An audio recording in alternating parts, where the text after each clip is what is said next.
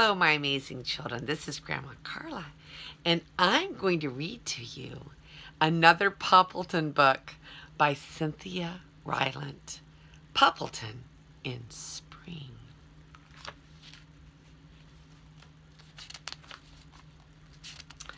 Spring cleaning. It's time for spring cleaning, said Poppleton one morning.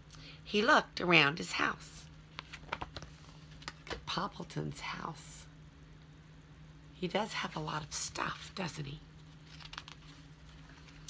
He had so many things, things and things. There was a box of unmatched socks. There were jars of old buttons.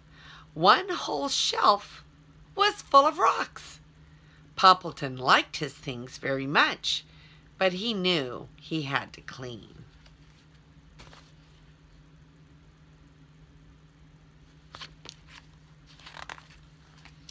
I will take some things to Cherry Sue, he said. Then I'll have more room.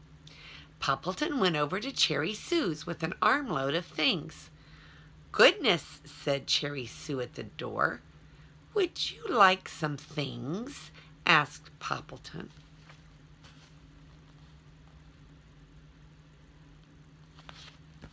What is Cherry Sue going to say? Cherry Sue really did not want some things. She was trying to spring clean, but she couldn't hurt Poppleton's feelings. Of course, said Cherry Sue. We'll put them in my attic. Poppleton followed Cherry Sue into her attic. He dumped all of his things in a corner.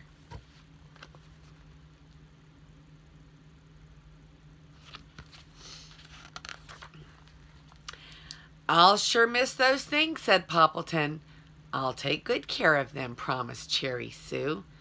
Wow, said Poppleton. Look at all of that yarn. Yes, said Cherry Sue. I don't knit, so it just sits there. May I have it?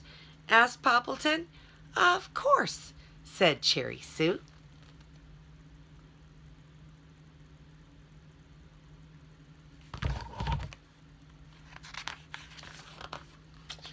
And look at those thumbtacks, said Poppleton. I never use them, said Cherry Sue. May I have them? asked Poppleton. Of course, said Cherry Sue. Hey, a box of shoelaces, said Poppleton. Poppleton saw so many wonderful things in Cherry Sue's attic, and she was so nice. She gave him nearly everything.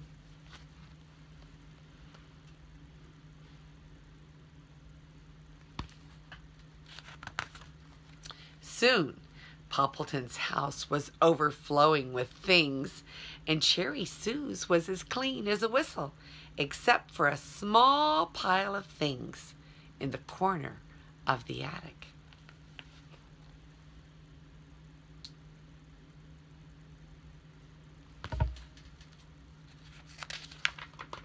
Poppleton and Cherry Sue had lemonade in the sun when they were done. Don't you love spring cleaning? said Poppleton. I love it, said Cherry Sue. So did Cherry Sue get rid of some of her stuff because Poppleton took it to his house? But Cherry Sue really did spring clean, and Poppleton kind of just switched things around, didn't he? I'm sorry Grandma Carla's a little hoarse. My, my voice is not working very well, is it? Well, the next one is called The Bicycle. Poppleton decided to buy a bicycle. It will be good exercise, Poppleton said. I'll get everywhere faster, he said, and I'll get to choose a favorite color. That was the best part.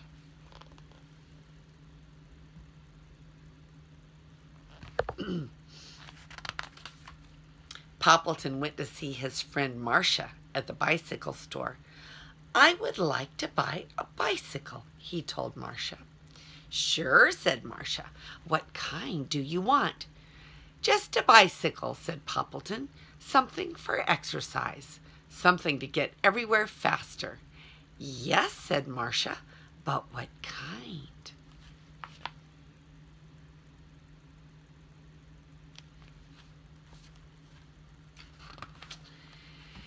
She took Poppleton to the big room. There must have been a hundred bicycles in that room, and they were all different. Look at all the bicycles. Marcia showed Poppleton bicycles until he thought he would faint. Finally, he pointed weakly. That one, he croaked. Great, said Marcia. What color? Red, croaked Poppleton. What kind of red? asked Marcia. Red, red, croaked Poppleton. Poppleton is so tired of looking at bicycles. He didn't know it would be so hard to decide. We have 15 different kinds of red, said Marcia. Let me show you. No, screamed Poppleton. He ran out of the bicycle store. He ran all the way home. He got there very fast. Look at him scream and pull his ears. He had had enough of bicycles.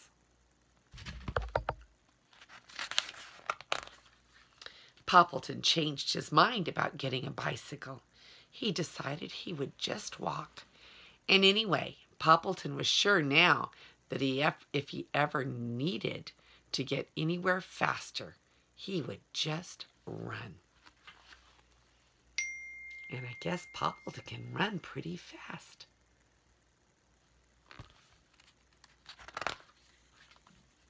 That was the end of that one. The tent. In spring, Poppleton decided to sleep outside in a tent. His friends thought he was silly.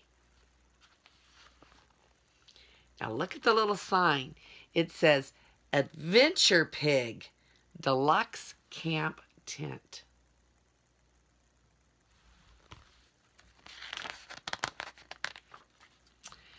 Why sleep outside when you've got a house?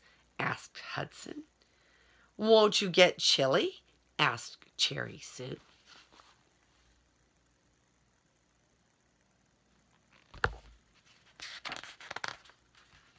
You'll catch pneumonia, said Gus, the mail carrier.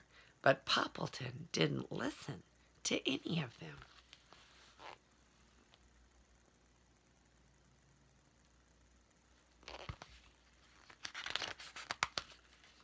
He carried all of his quilts out to the tent. He had a flashlight and a pillow and some good books. And long after everyone else was asleep, Poppleton was still up. You see all of his quilts here in his tent. Sometimes he was reading. Sometimes he was thinking.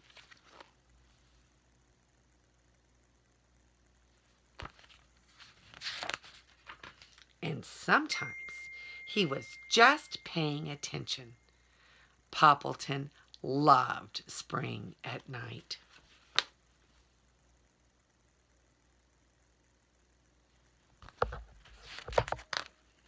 In the morning, he went back into his house. He had a cup of cocoa and some buttered toast, and then he went to find Cherry Sue. He showed her the new flower that had opened up while she was sleeping and while he was paying attention.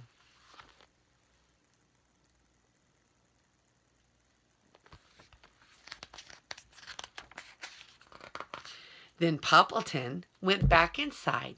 He closed his blinds and he slept in his bed all day. That's silly, Poppleton, said everyone who passed. There's Poppleton enjoying his bed now. Everyone except for Cherry Sue. So what is Cherry Sue doing now? She decided that she would sleep in the tent and watch the flowers bloom.